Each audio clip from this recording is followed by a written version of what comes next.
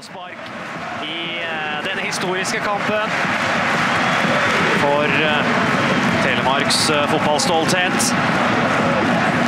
Hvor Seknini er frekk som bare det, og forslått det!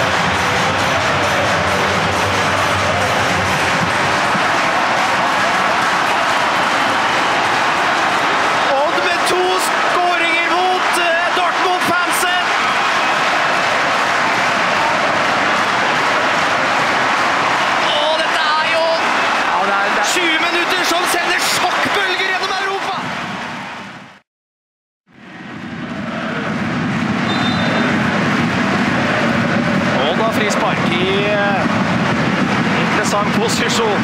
Espen Ruud, dødballekspert, prøver seg. Espen Ruud!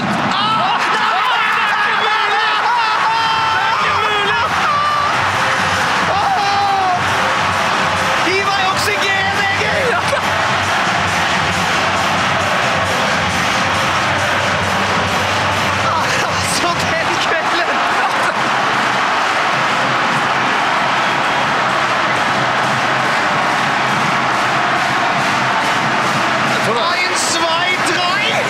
Keeper tapper hvor mye du vil, det spiller ingen rolle. Det står 3-0.